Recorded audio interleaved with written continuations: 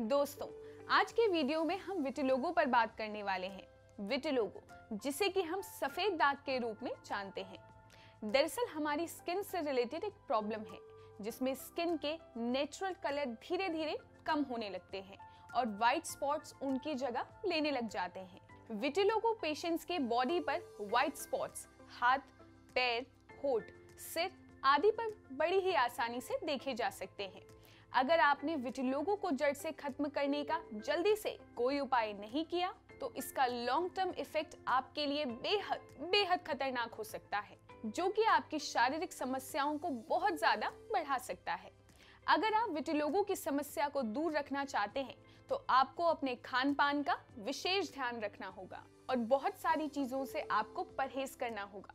तो आज के वीडियो में हम आपको विटिलोगो पेशेंट्स को क्या खाना चाहिए और क्या नहीं, इस पर ही चर्चा करेंगे। साथ ही आपको ये भी बताएँगे कि दही विटिलोगो पेशेंट्स के लिए सही है या नहीं। तो अगर आप भी इस तरह की समस्याओं से जूझ रहे हैं या फिर चाहते हैं कि फ्यूचर में इस तरह की समस्याओं से बचे रहें तो आपके लिए ये वीडियो काफ़ी ज़्यादा महत्वपूर्ण साबित हो सकती है। इसलिए वीडियो को एंड तक देखें। और अगर आपने अभी तक हमारे चैनल कर्मा आयुर्वेदा ल्यूकोडर्मा को सब्सक्राइब नहीं किया है तो अभी सब्सक्राइब करें। साथ ही बेल आइकन को दबाना बिल्कुल भी ना भूलें, ताकि इस तरह की इंफॉर्मेटिव वीडियोस के नोटिफिकेशन सबसे पहले आप तक पहुँचते रहें। तो आइए, विटिलोगो से जुड़ी कुछ इंपॉर्टेंट बातों को जान लेते हैं। दरअसल विटिलोगो की समस्या का मुख्य कारण है मेलेनोसाइट्स नामक कोशिकाओं का नष्ट होना। मेलेनोसाइट्स त्वचा में रंग बनाने वाली कोशिकाओं को कहा जाता है। जब किसी कारण से ये कोशिकाएँ नष्ट होने लगती हैं या फिर काम करना बंद कर देती हैं तो हमारी स्किन पर जगह जगह सफ़ेद दाग दिखाई देने लगते हैं। आपको ये जानकर हैरानी होगी कि हम अपने खान पान की आदतों में कुछ बदलाव करके विटिलोगो की समस्या से खुद को बचा सकते हैं। लेकिन कैसे? आइए जानते हैं। तो सबसे पहले अगर आप विटिलोगो की समस्या से बचना चाहते हैं तो अपने आहार में एनिमल बेस्ड प्रोडक्ट्स को शामिल बिल्कुल ना करें और प्लांट बेस्ड प्रोडक्ट्स को अपनाएँ।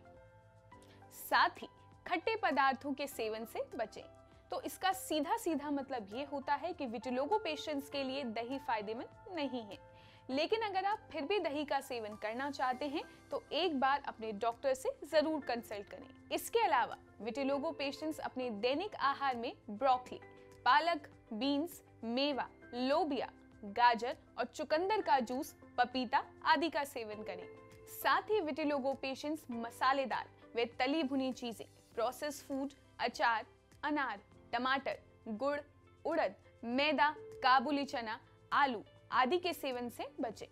अगर आप अपने डाइट का विशेष ध्यान रखते हैं तो विटिलोगो के साथ साथ और भी कई तरह के बीमारियों से खुद को दूर रख सकते हैं। लेकिन आप किसी भी डाइट को फॉलो करने से पहले एक बार डॉक्टर या फिर अपने एक अच्छे डाइटिशियन की सलाह ज़रूर ले लें, ताकि आपके बीमारी की सही से जाँच परख हो सके और आपको अपने डाइट में और भी कई तरह के ऑप्शंस मिल सके। तो आज की वीडियो में बस इतना ही। लेकिन अगर आप विटिलोगो से रिलेटेड कुछ भी पूछना या जानना चाहते हैं तो आप हमें कमेंट कर सकते हैं। या फिर कर्मा आयुर्वेदा से संपर्क कर सकते हैं। नंबर आपकी स्क्रीन पर मौजूद है। कर्मा आयुर्वेदा आपको विटिलोगो सहित kidney, Parkinson, paralysis, heart, liver, cirrhosis जैसी और भी कई तरह की बीमारियों का एक उचित सोल्यूशन देता है। तो हम आपसे फिर मिलेंगे एक नए वीडियो में किसी और नए टॉपिक के साथ। तब तक के लिए नमस्कार।